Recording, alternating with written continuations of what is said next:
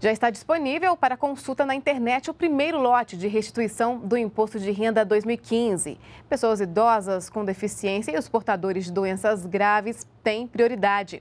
São quase um milhão e meio de contribuintes que vão receber a restituição. Um total de 2 bilhões e 300 milhões de reais que serão pagos em 15 de junho. Também foi divulgado o lote multi-exercício de restituição do imposto de renda de 2008 a 2014. O site da Receita Federal na internet é esse que aparece aí na sua tela. A Receita disponibiliza ainda um aplicativo para tablets e smartphones para facilitar a consulta, as declarações do imposto de renda e a situação cadastral no CPF.